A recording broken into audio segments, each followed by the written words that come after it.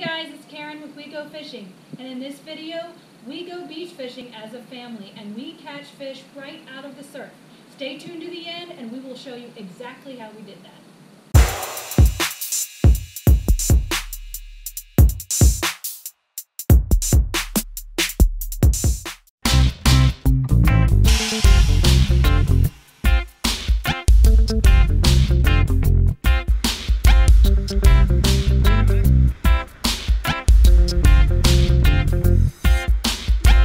Got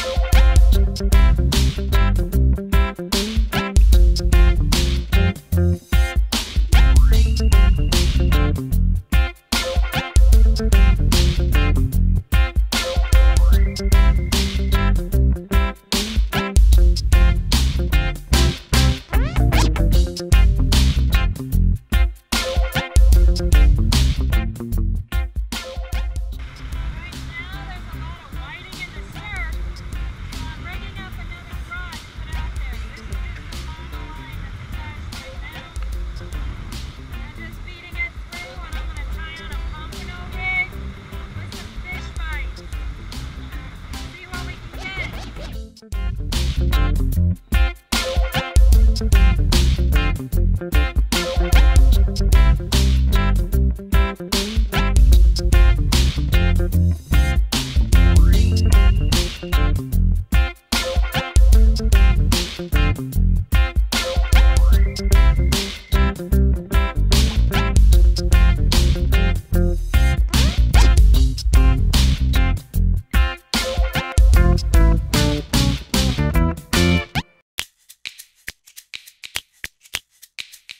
do do do da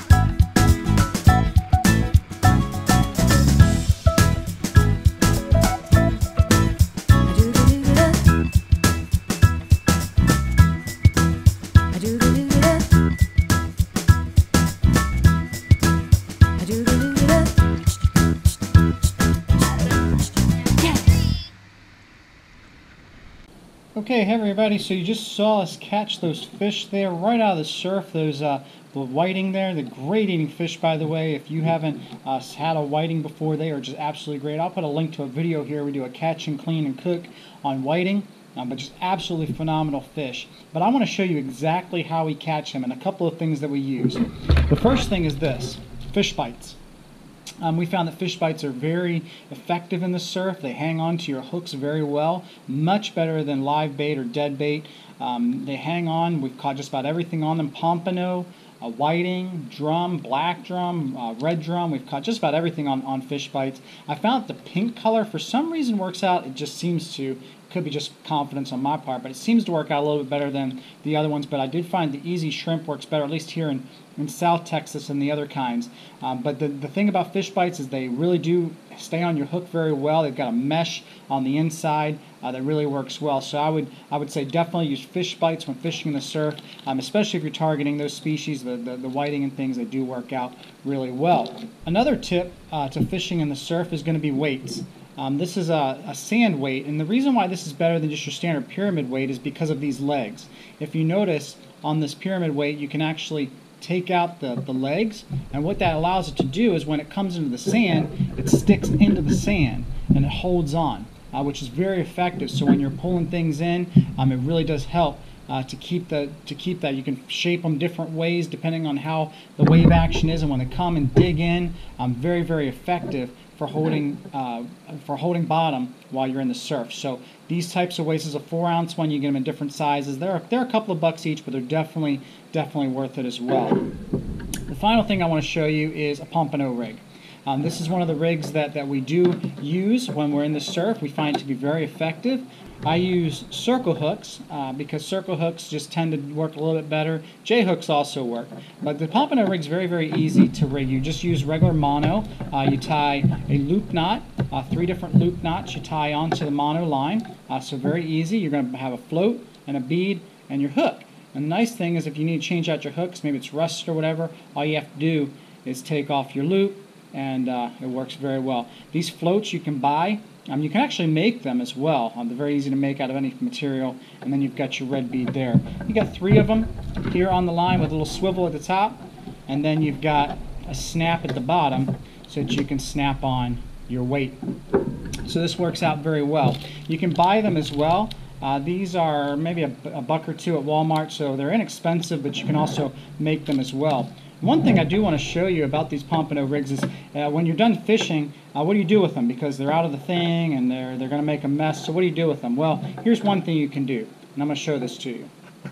What you can do with these pompano rigs is very simple. What you're going to do is you're just going to wrap them up, start here at the swivel on the top, just wrap them up, make just a couple of turns over your fingers, like so.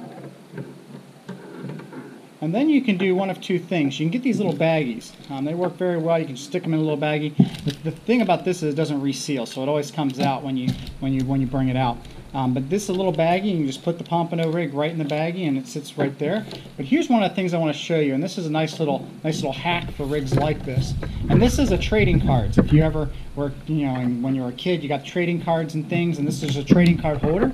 And you can open up one of the little sleeves of your trading card holder and you can take your pompano rig, or really any rig, whether it's a bottom rig, redfish rig, whatever, and you can stick them right there in the pocket, uh, just like so. And it sits in there. And the nice thing about this is this is foldable. So you can fold this up, and it can go right in your pocket just like that. So a very easy thing to do uh, to store these things so they don't get so messed up in the bottom of your tackle box. Thanks for watching. May you always catch your limit.